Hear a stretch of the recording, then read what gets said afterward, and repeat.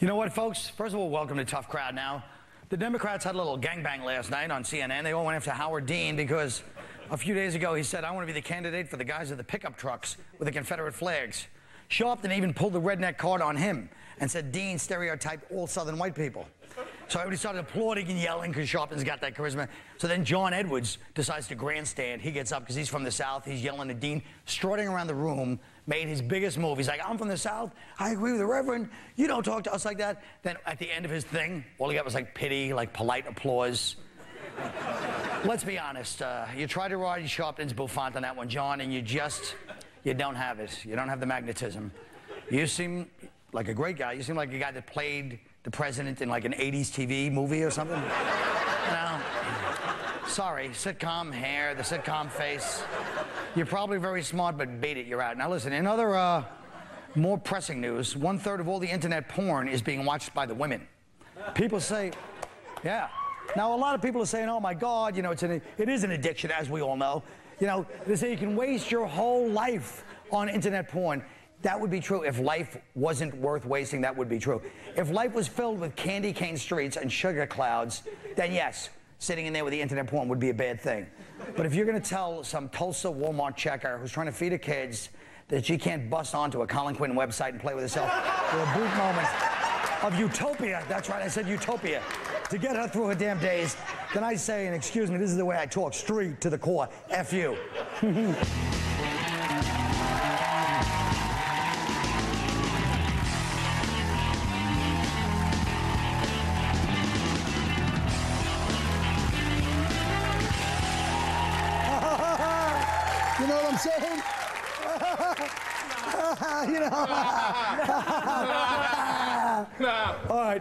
Concerns have increased that American prisons are now becoming recruitment opportunities for radical Islam. So the question is, do rights such as freedom of religion apply in prisons? Greg? They do, unfortunately. I don't think they, they should as much as they do, but they do. There's even laws that guarantee it. But uh, there's got to be limits on it. You know, I don't think you should be able to just claim like you know, you're Catholic just so you can uh, play priest and his altar boy. Yeah. you know, we're all waiting for the brothers to talk on this prison subject. Get to it. Yeah, you know See, more you know what? You want me to? I'd be racist if I didn't say that too, though, right? Because then I'd be Of ignoring the course, fact. There's a lot of white boys in prison too that get to that get to be whatever religion y'all have to be, so you don't get raped. Black, black They people get raped anyway. Black people, uh, they have to join that the Muslim thing so they can. It's, it's a solidarity thing, man. You get beat up, you gotta have a, a you gotta be a member of something in jail. You can't be like a guy like in the movies who reads a book and just uh, hey, I don't bother nobody. You gonna get raped, so you But gotta you gotta join something. Actually, in jail, though, they actually are more privileged, though. The, the Muslim culture, the, when you are Muslim in jail, you get a special diet, you get to eat a different way, dress a different way. They bring them in body oils, they get all kind of stuff. Kind of like the Jews. Yeah. Yeah. But they do. I mean, there is a reason also why Islam is so popular in prison because there's like that. Uh, there's like that whole chapter in the Quran about uh, how to keep your dignity while tossing someone's salad. Isn't prison itself enough suffering than than not being able to do whatever? I mean, you might as well be able to do anything you want to do And in prison because prison is the Yeah, but it's Yeah, worse. is the But But what about the fact that it's, wor- it's much worse? We all know, and please don't deny, it's 100 times worse for white guys because they're the ones that get raped. They join Shut join your the- mouth. Bring up the Aryan Brotherhood. I'll turn over this table. There's four guys in the Aryan Brotherhood in the whole country. Now listen Well, they to got me. the new Nazi But they got the lowriders now. mafia in You there know, who right? scares the hell out of all the rest of the Jew- prisoners. No, they don't have the Jews. You know that. Stop it. Who Who runs has the prisons? Jews? The white Who runs boys. prisons? The white guys run the prisons Ah, too? Yes. Yes. You saw that been to movie. prison. You saw. I quit. I quit the business. You saw. Wait a minute. Whoa. You saw that movie uh, Bound by Honor, starring uh, a lot of B actors. No, and- white boys. And also, white, This is your boys, white ultimate- boys got a lot of clout in prison. that's true. And Shaw, Shawshank Redemption. You Uh, saw that. Morgan Yo. Freeman wasn't They the don't big even play. run the prisons in Nebraska. Never White mind. people are not relinquishing their power just because they're in prison. Oh my God! There are no way- You, really, mm, you guys are living in a mm, mm, dream. Yeah, they are not Speaking of B relinquishing. movies, clapping for the word speaking of B movies, why don't you we've drop that B movie move of the one guy applauding and then the audience joining in? Yeah. Stupid. All right. And by the way, what white, know what, what? white, man, what white power you, th- you think the, the toothless, you know, uh, methamphetamine addict that's in jail, the white guy, you think he's got a lot of power out on the street? Don't He's even to argue really- with them about it. They're blatantly lying to give me First a of all, y'all are the most removed from prison. A giant lesbian, she ain't never going to jail. Uh, Yeah, white but Puerto Rican, Harvard Puerto and, a, Rican.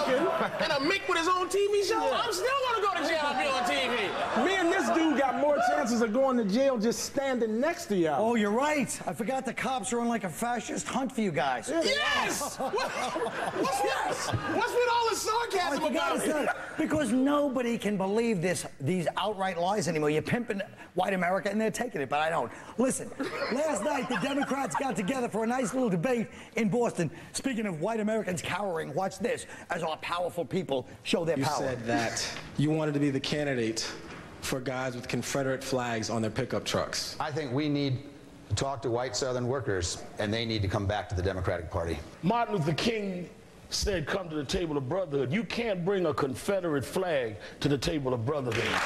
We need to bring folks together in this race. Now, I make no apologies for reaching out to poor white people.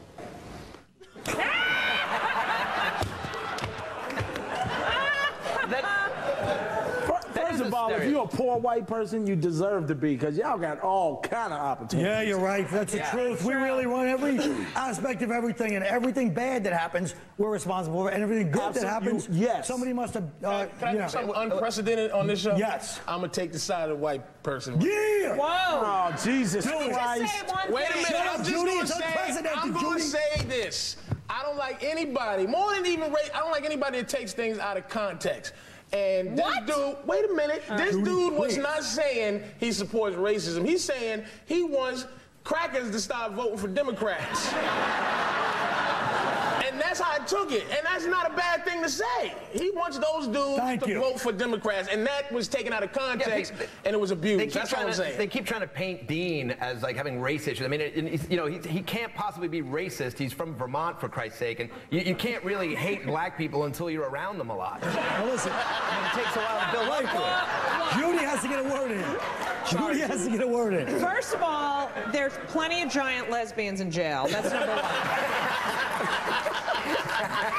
number That's a two, good point. thank you. Number two is he grew up in New York City. Who did? Dean. He was a doctor in New York City. He went, grew up in New York. He went to like some richy rich. That statement wasn't racist, Colin. It, I didn't think it was racist. Of course I not. But it, was, think it was actually was. Taken I out of context, It's strange that Sharpton would be the one to say it, but it actually is a weird stereotype that he's somehow I- equating. why do he's they have equating to- white. He's equating white working people with guys in pickup trucks and and uh, you know and uh, Confederate flags. we which all is, know what he means. But means. that is People that a take anything. stereotype. I mean, it is a stereotype. and it's, it's no it's no way to you know you know the, the, you're not going to get them to put down their banjos and get off their cousin and vote Democrat with that kind of attitude. it's true. Let's face it. Will there ever be a candidate that can relate to both races? Patrice? Hillary Clinton, maybe.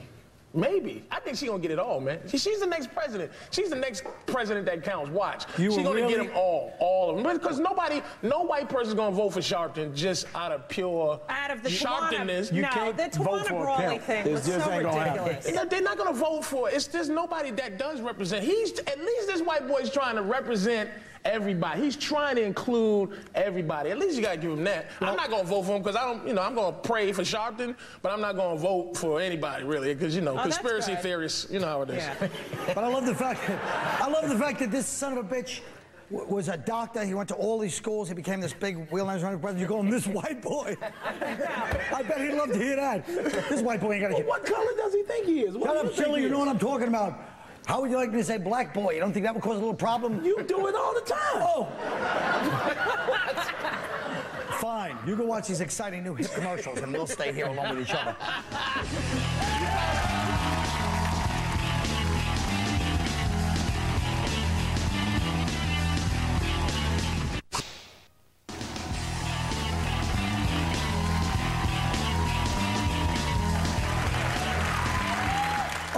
Well, the State Department has allegedly asked producers of Kid Notorious to tone down the show's depiction of world leaders. Take a look at this clip featuring President Jacques Chirac of France. That's when it hit me. All of a sudden,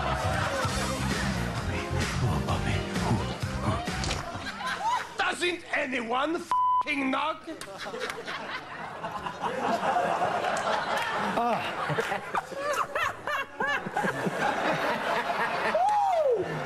Todd, what do you think? Should the world of politics have anything to say about the world of entertainment? Yeah, they should. No, actually, I don't think so. Here's my point. what I think, this is great when a lesbian does it. It really does. Yes, it adds another little texture. It's a whole different dimension. Um, what I actually think is that who is the jackass that works at the government that's monitoring cartoons? That's a good point, Yeah, too. what department is that? The Yeah, I pay my cartoon monitoring. That's why. That's why I think it's. Bull. I think it's like this Robert Evan guy hyping up the thing. There's nobody at the State Department calling him up saying, you know. And first of all, the, the whole thing's absurd because Jacques Chirac is not. You know, they're painting him to be gay, and he's not. He's just French, so he just sounds gay. Yeah. Really. But also, but what about the Reagan uh, miniseries thing that's Oh, been that happening? is so ridiculous. It's, why did they have to get involved in it? It's a, it's a, a movie. Right. It's like waste your time on acknowledging all the people that died in Iraq. And But maybe don't you also think why? But they're not doing. They're boycott. They're threatening to boycott. Right. So well, you they think took it off the air. They Totally. took it off. They but told you, it to so then you Showtime. agree that all the gays that boycotted Eminem were too, right? Yeah. Okay. Good. So wait, what they're complaining about with this movie, they're complaining that it's just it's a biased portrayal Right. of the president. That they made it up takes stuff. a le- they made stuff up and it's a bias. Like there- I mean I don't know if you read any of the script, but there was that one scene where uh, where Reagan drowns a puppy. That never happened. I just think it's so ridiculous that they think that American people, which they are, are so stupid that they're going to believe this movie and their whole opinion's going to change over a stupid movie of the week. Well, if it's With supposedly James semi Brolin. autobiographical, I believe stuff when I see it. So You what? don't It's believe a Brian's TV song? show. It's a TV show. What? It's a TV show. Yeah, but you can't, you know, there's a fine line between all, I mean, these things have to be semi-true. You wouldn't watch a fake TV show about the Reagans. You want to hear what the story was. I watched all three Amy Fisher things. and did you believe him? Yes, I believed every That's what I'm word. saying. I believe him too. I mean I watched uh, I watched Roots. I watched Roots, and Yeah, I, I never Roots, but I never exactly. believed slavery happened until I saw that. Oh, And then I do though after seeing it. oh look at Hey, Tom. look at Tom still thinking about that big man's foot in his foot. All right, look. I, I'm sorry. Let's talk. Damn. Let's talk about the Nielsen. Actually bigger than I am. Let's talk about the Nielsen's net ratings. One in three visitors to porn websites are women. Judy, start us off with that, right? Mm. Well, I Does don't know surprise why. No, I don't know why this is so shocking. Like women never have any sexual desires. We're just here to, you know, please. I I'll take the boot again. I have a Woody right now, and you don't even know it. And do, do, women, do women do women get into the uh, the, the internet uh, What are you porn doing? posture?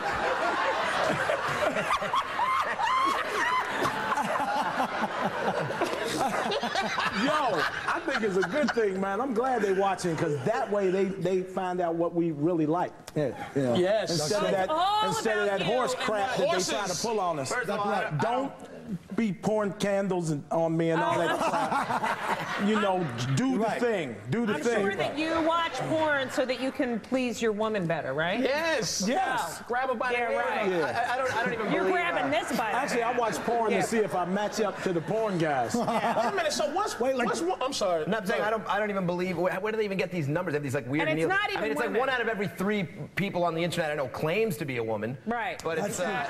Well, I guarantee it's not. As Americans, you're entitled to life, liberty, and the pursuit of commercials. so here they are.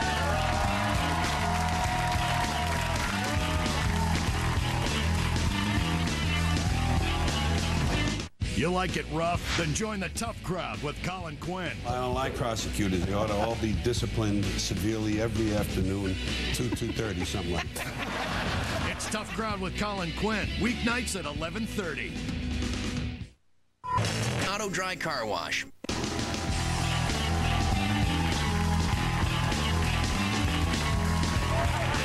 Now, you might have watched last night, although you couldn't tell by our ratings, where we took some of our regular comics from the show and secretly taped them for a few laughs at their expense. Tonight, we present the second installment of our Tough Crowd Hidden Camera Photo Shoot. Our five comics thought it was a publicity shoot for Comedy Central, run by our beautiful photographer Ellen. What they didn't know was that there were a few other cameras in the room, behind mirrors and in the ceiling. Sorry, boys. Tonight we take a look at Patrice O'Neal.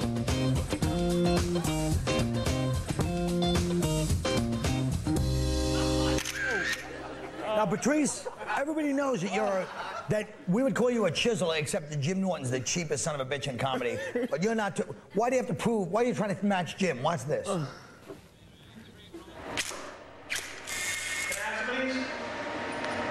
You get paid all. You get paid anyway, right? Comedy Central's paying you. Well, through my agent. I'm getting publicity. You know what I'm saying? You paying? You paying? They paying you, right? Yeah, Money? yeah. Can I get a couple of these pictures? Basically, I'm asking for free pictures. So if I get free comedy show, then you get free pictures. Comedy Central's paying you. You may get five thousand for this. Yeah, but then how much do you make for stand-up? Give me free tickets I for stand-up. I don't get five G's for taking pictures of some oh, losers. Yes, Why can't you just give once in your life? because I've given. Take, take, take. I've given a lot before in my life. Take, Point take, at take. me again. What am I holding? Maybe. I'm not holding any signs of Colin Quinn. Tell me your best joke. Nobody's making me laugh. That ain't our job. I thought If that you, is. You're a come see me comedian. you gonna take pictures of me too? Yes. For we- money. There you go. Trade. We trade. It's all If we business. trade. it's all business. All I'm saying is They I'm Patrice anything O'Neal, for free. and people gonna say, "Who took your headshots?" Because they gonna look good. Yeah, of course And I'm gonna gonna say, good. this white girl up on Twitter. Clean on the table, maybe scream at me or just scream at me in general. Give me some free pictures. Now, Patrice, I tried to be nice and work out a deal with you, but you just you, you were so cheap. You didn't just make yourself look cheap. You made Steve Atwater look cheap. All right. Watch here as the photo shoot is over, and you're still trying to get a hookup. What do you charge for a shoot? Headshots. Um, last time I did headshot was 450. I'll say so two. Huh? So 200. If you give me four tickets, how many tickets you have to give? Ellen, call me on an off day.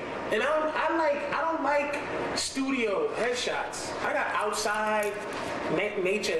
That's what I like. Okay. So you don't need a setup. Just be like, I need some money. Patrice, you need headshots today? I got 200 bucks, baby. All right. Just call me. Just be like, I need some money. You guys later. Have a good one. Bye. So, oh, you didn't give me a number. You didn't give me a number. I'll give it to you on this. I call you at 4 in the morning. Hello. What you doing, Ellen? You ain't doing shit. Take my picture. Oh, folks, that was beautiful. Didn't care to half a out. You didn't give a damn. All you wanted was those free pictures. So unbelievable. Oh, folks, this isn't over. We got two more to go. Tomorrow night we'll look at Mr. Keith Robinson. We'll be right back.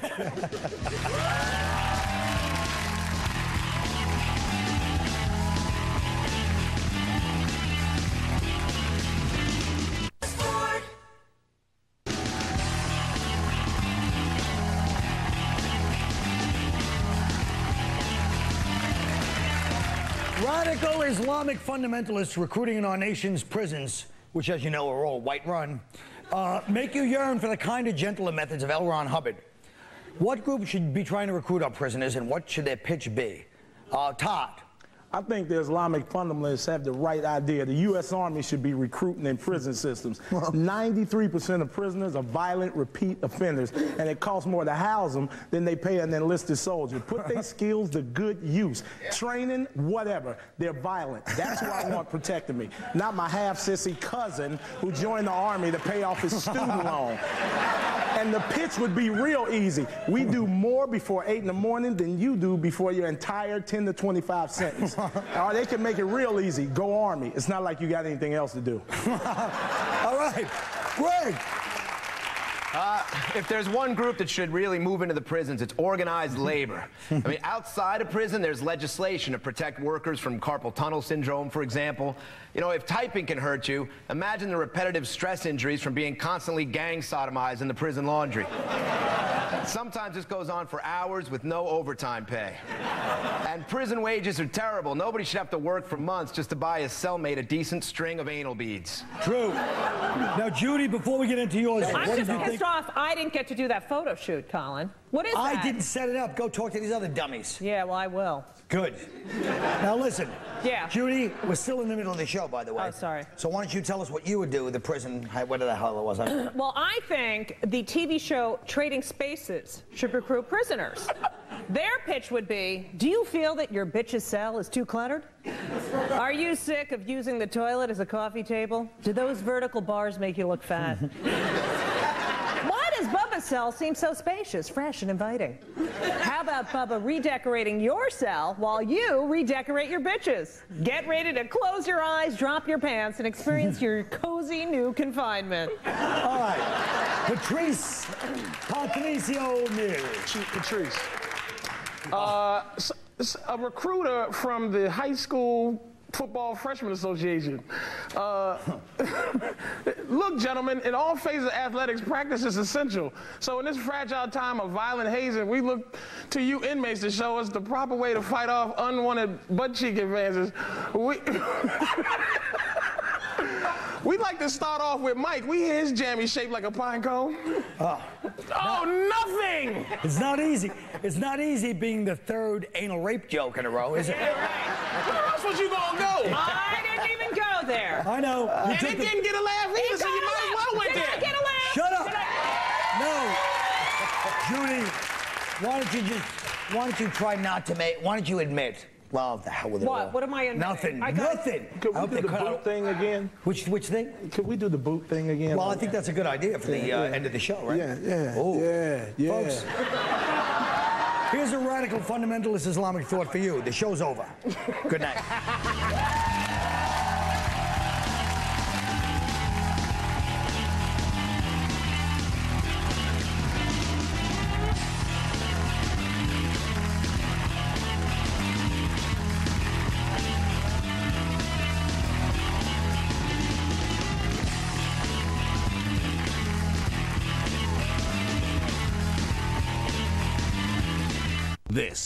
Comedy